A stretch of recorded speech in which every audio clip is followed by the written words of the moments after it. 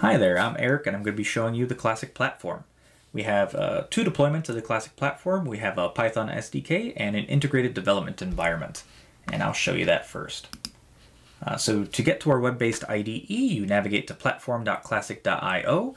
Once you're signed in, you'll see this uh, interface where on the left side is our model section where you put in all the bits of your circuit that you want synthesized for you.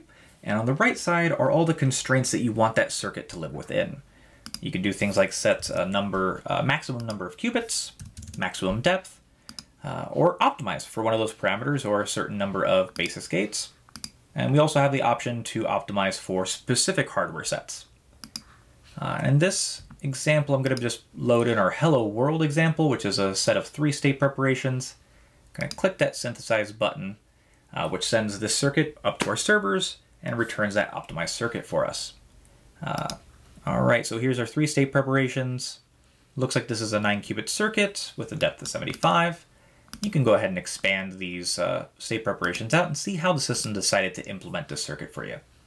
Uh, once you're happy with your circuit, you can go into the execution tab uh, and pick a, a, hardware vendor of your choice and uh, which system you want to run on. In this case, I'm picking IBM Quantums and I want to run on a simulator for brevity. I don't want to wait in the queue too long.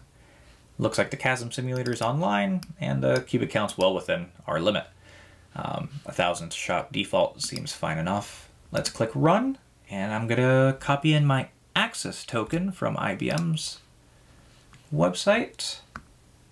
Ah, perfect. And uh, we're queued up and already ready and running.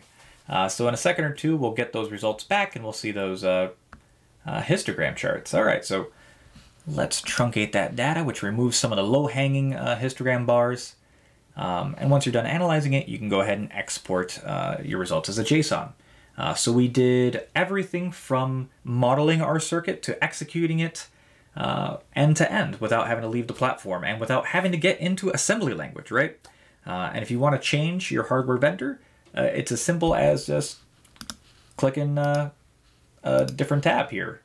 Um, so you didn't have to learn a different language. You didn't have to learn how to go from uh, Q Sharp, that's uh, Microsoft Azure's, to QASM code, which is IBM's uh, hardware assembly language.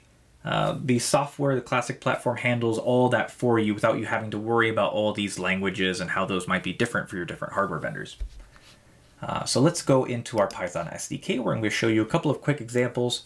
In this case, I'll show you Grover's algorithm, uh, that's solving out for a Secret Santa. So that's always a fun and nerdy one. Uh, come Christmas this next year, you can say that you solved a Secret Santa uh, using a quantum computer. Um, so when you're calling out a Grover's operator, it's as simple as calling out the formula that you want the uh, oracle to express. And in this case, it's a bunch of uh, XOR arguments, uh, since Allie can give a gift to Berta or Charlie, but not both uh, and so on and so forth. So you type in all those uh, arguments. Let's go ahead and run that. And we're asking for the interactive circuit to be returned to us. Uh, so that goes back into our Python, uh, sorry, our integrated development environment where we can go ahead and dynamically uh, review this circuit. So that was a 14 qubit circuit with a depth of 348. We can open this up, we can see our mixer, we can see our oracle, and all those beautiful bitwise or arguments that make up that oracle. Um, again, you can execute in the IDE, or you can go ahead and execute uh, within the Python SDK as well. Um, I'm calling out the same simulator, the A, uh, AER simulator for brevity, right? Don't want to wait too long for the result. And it's saying a quick result for us is x2, x3, and x6. Uh, 2, 3, 6, perfect. We just solved our Secret Santa. Uh, the other example I'll show you on the Python SDK is an example of one of our application suites. In this case, I'm showing you uh, a European call option from our finance application suite. Uh, we have a strike price for our option of K, and we're going to be simulating our maturity price S. And when your maturity price is greater than your strike price, you make a profit. Uh, so we have our strike price we're calling out as 1.896, and we have our maturity price uh, modeled as a log normal distribution with a mean of about 0.7 and a standard deviation of about 0.13. And we're modeling that with three qubits in this case.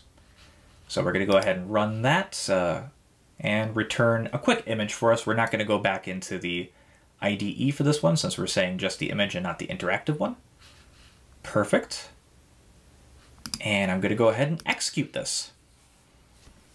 So let's see what those results look like when that gets executed. I'm to go ahead and print the results.